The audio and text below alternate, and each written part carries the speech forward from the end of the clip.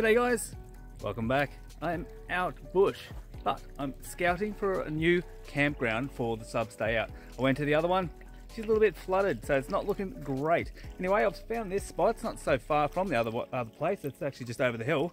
But um, this one comes with nice little waterfalls, so that's pretty cool. But yeah, plenty of water here. There's plenty of diggings, and there's plenty of open ground for lots of camping. So you would be able to get a sedan in here easy enough. A caravan of any size, not so sure. Uh, campers, you would. Yeah, maybe a small van, maybe. But yeah. Um, but yeah, swags and all that will be fine. Anyway, guys, if you are bringing a dog, whilst you're in amongst everybody, if you could keep it on a lead, that would be great. But yeah, quite welcome to bring a pup along. Um, if you're out in the field, probably let them off, have a bit of a run around. But anyway, guys, I'll take you for a little bit of a tour, and yeah, we'll see what you're sort of coming to this weekend. Now we have some diggings here, They're coming down the gully here, running down into a dam. So if you want to do a spot of high banking, there's going to be plenty of water for that. But over the back there is quite a large creek, so we'll pop down there for a bit of a look. And we have a bit of a hillside here, some old timers working, so should be plenty of mounds to run over. But being a bit of a hillside, a bit of a ridge line, you never know, might be a little bit of gold coming off it too. So there's plenty of room for everyone to run around on.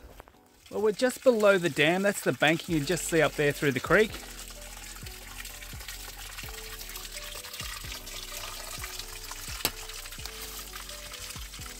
Nice little waterfall going on there again with some really nice looking gravels. So that might be a good little spot to have a bit of a pan. Well guys, that was a quick little tour of the place and it's actually looking pretty good. We are actually just over the hill from where I was the other week from where we were originally to be. It's probably only a couple hundred meters over the hill because I just went into the creek that I was in. And as this event has gotten larger each time, um, and this one being a two-day event, I've actually hired a toilet. So we're gonna have a toilet on site and that'll make it a lot more comfortable for everybody. And also guys, and because it's sort of getting big and um, the expenses are growing considerably as these things go along, I'm actually going to um, charge a couple of bucks a ticket for the raffle. Um, it's just to offset the cost. I do not want to make money off of this. I just want to sort of cost neutral would be nice. And yeah, um, it sort of helped me out a lot. Um, I've already had a generous donation from John, um, much appreciated. He wanted to sort of put a bit of money towards the barbecue, so that's excellent. So I really appreciate that. So guys, yeah, bring a few bucks along because obviously it's only going to be cash. Um, Bazza will have his little pans there, five bucks a pan. Kez is printing off a heap of uh, stubby holders. So yeah, stubby holder for five bucks and she's doing some mugs. The mugs are $15. If you want a mug, we aren't sort of really doing pre-orders. We might have a few extras, but they do cost a little bit more to have around. So guys, it's not too late to attend. If you want to head along, yep, just hit that subscribe button, send us an email, and I'll give you the details to the meetup point.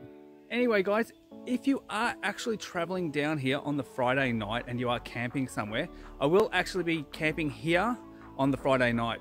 I have arranged to meet at the, the meetup point um, between probably 4 and 4.30. So if you're at the meetup point between 4 and 4.30, um, we can head in with us then because I'm going to come down on the Friday to set up for the Saturday. Other than that, I'll catch us all Saturday morning. Cheers guys.